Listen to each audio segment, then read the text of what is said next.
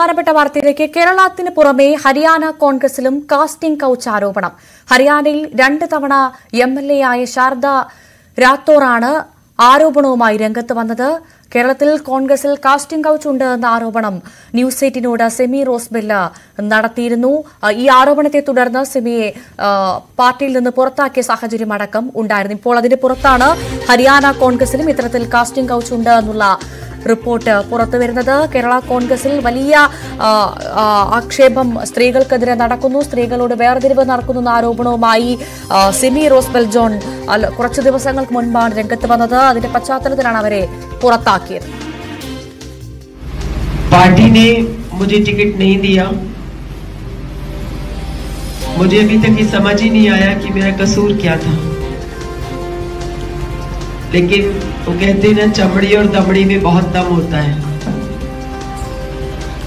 तो मैंने तो ईमानदारी की राजनीति करी। पार्टी ने मुझे टिकट नहीं दिया।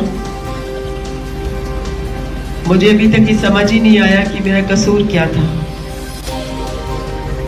लेकिन वो कहते हैं ना, चमड़ी और दमड़ी में बहुत दम होता है। तो मैंने तो ईमानदारी की राजनीति करी സുബി വിശ്വനാഥൻ ചേരുന്നു വിവരങ്ങളുമായി. സുബി പ്രതികരിച്ചാൽ ശബ്ദമുയർത്തിയാൽ പുറത്തോട്ടാണ് വഴി. ഇതായിരുന്നു കേരളത്തിൽ കോൺഗ്രസ് നമ്മൾക്ക് കാണിച്ചു തന്നത്. സെമി റോസ്ബെൽ ജോൺ അതിന് വലിയ ഇരയായി നമ്മൾ കണ്ടതാണ്. അവർ കോൺഗ്രസിനെതിരെ കോൺഗ്രസിൽ നടക്കുന്ന വേർതിരിവിനെതിരെ ശബ്ദമുയർത്തിയപ്പോൾ പാർട്ടി കാണിച്ചു കൊടുത്തത് പുറത്തേക്കുള്ള വഴിയായിരുന്നു. ഇപ്പോഴിത് സമാനമായി ഹരിയാന കോൺഗ്രസിലും കാസ്റ്റിംഗ് കൗച്ചുണ്ട് എന്നുള്ള ആരോപണവുമായി രണ്ട് തവണ എം എൽ എ ആയ ശാരദാ അവർ രംഗത്ത് വന്ന സാഹചര്യം എന്തൊക്കെയാണ് അവർ പ്രധാനമായും പറയുന്നത്? എന്താണ് ആരോപണം? വിശദാംശങ്ങൾ ഭവ്യ കേരളത്തിനു പിന്നാലെ ഹരിയാന കോൺഗ്രസിലും കാസ്റ്റിംഗ് കൗച്ച് ആരോപണം രൂക്ഷമാകുന്നു എന്ന് തന്നെ നമുക്ക് പറയാം. ഇവിടെ ആരോപണവുമായി രംഗത്ത് വന്നിരിക്കുന്നത് രണ്ട് തവണ എം പി സ്ഥാനം എം എൽ എ ആയ ശാരദ റാത്തോർ എന്ന ഒരു മുതിർന്ന വനിതാ നേതാവാണ്. അവരാണ് ഈ കാസ്റ്റിംഗ് കൗച്ച് ആരോപണവുമായി രംഗത്ത് വന്നിരിക്കുന്നത്. സ്ത്രീകൾക്ക് എന്തെങ്കിലും സ്ഥാനമാനങ്ങൾ കിട്ടണമെങ്കിൽ നേതാക്കളുടെ ഇഷ്ടത്തിന് വഴങ്ങണം എന്നാണ് അവർ പറഞ്ഞിരിക്കുന്നത്. ഈ ഈ അവരുടെ ഈ വെളിപ്പെടുത്തൽ വലിയ വിവാദമായിരിക്കുകയാണ് ഹരിയാനയിൽ. നമ്മൾ കണ്ടതാണ് കേരളത്തിൽ ഇത്തരത്തിൽ ഒരു ആരോപണവുമായി വന്നത് സിമി റോസ്ബെൽ ജോൺ ആയിരുന്നു.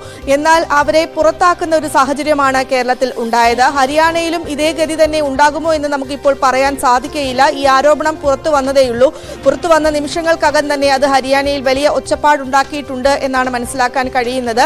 രാഹുൽ ഗാന്ധിയും പ്രിയങ്ക ഗാന്ധിയും സ്ത്രീ സുരക്ഷയെക്കുറിച്ച് പറയുന്നു എങ്കിൽ കൂടിയും അവസാനം തങ്ങളുടെ പാർട്ടിക്കകത്തേക്ക് എത്തുമ്പോൾ അത്തരം കാര്യങ്ങൾ ഉണ്ടാകുന്നില്ല എന്നൊരു വിമർശനമാണ് സിമി റോസ്ബലിന്റെ ഭാഗത്ത് നിന്ന് ഉണ്ടായിരുന്നത്. തനിക്ക് അർഹിച്ച സ്ഥാനമാനങ്ങൾ കിട്ടിയില്ല. പകരം പുരുഷ നേതാക്കൾക്കാണ് ഈ സ്ഥാനമാനങ്ങൾ കിട്ടിയത്.